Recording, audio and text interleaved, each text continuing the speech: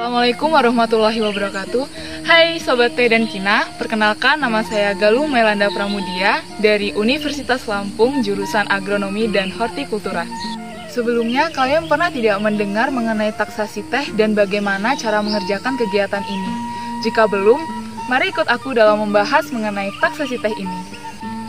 Taksasi teh merupakan salah satu kegiatan yang bertujuan untuk memperkirakan jumlah bahan tanam yang akan diperoleh Pendataan jumlah stekres yang diperoleh harus seakurat mungkin dengan menggunakan sampel yang mewakili. Taksasi teh ini dilakukan sekitar dua minggu sebelum stekres diambil sebagai bahan pembibitan.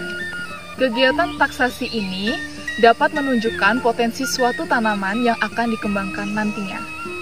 Untuk memudahkan pemahaman kita mengenai taksasi teh ini, Mari ikut aku dalam melakukan kegiatan taksasi teh di Pusat Penelitian Teh dan Kina.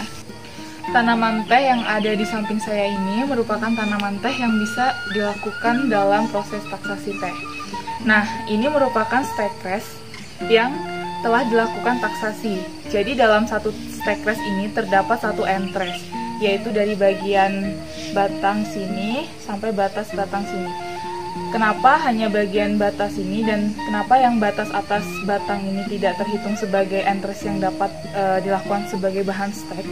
Karena untuk batang bagian atas ini masih terlalu muda, jadi tidak mungkin untuk dijadikan sebagai bahan stek. Untuk menghitung stek crash dalam satu pohon ini, kita dapat menggunakan alat yang bernama hand counter. Dengan cara nanti e, dipegangnya seperti ini, lalu kita pijit. Nah, untuk mengembalikannya kita uh, putar tombol ini sampai kembali ke angka 0. Selanjutnya kita akan menghitung dalam satu jumlah pohon ini ada berapa jumlah stakers yang terdapat.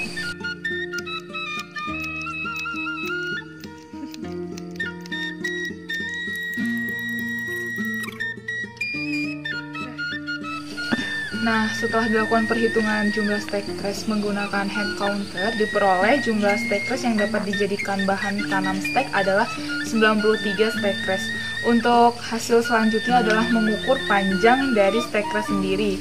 Kenapa uh, pengukuran panjang ini harus dilakukan? Karena untuk memperkirakan berapa jumlah entres yang akan diperoleh nantinya. Uh, sebagai contoh, kita mengukur panjang stakers yang ini aja diukur dari pangkal batang hingga ke pucuk daun.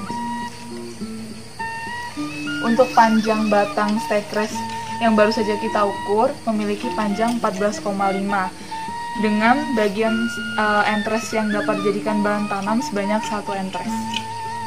Kita sudah melakukan prosedural mengenai taksasi teh. Sebenarnya taksasi teh ini merupakan salah satu bagian dari kegiatan perbanyakan teh Perbanyakan teh dapat dilakukan melalui dua cara, yaitu melalui cara vegetatif dan juga generatif. Di pusat penelitian teh dan kina sendiri, perbanyakan tanaman teh lebih banyak dilakukan melalui cara vegetatif karena dinilai lebih cepat dan efisien. Selain itu, dapat memenuhi kebutuhan bibit tanaman teh yang banyak dan juga memiliki sifat keunggulan yang sama dengan induk pohonnya. Sedangkan perbanyakan generatif sudah jarang dilakukan karena perbanyakan generatif sendiri cenderung memerlukan waktu yang cukup lama. Selain itu, perbanyakan secara generatif akan menimbulkan varietas genetik yang tinggi sehingga akan berpotensi menghasilkan hasil produksi yang rendah. Sekian kegiatan taksasi teh kita kali ini. Mudah bukan? Semoga kegiatan yang telah kita lakukan hari ini dapat bermanfaat. Sampai jumpa di lain hari dengan saya. Wassalamualaikum warahmatullahi wabarakatuh.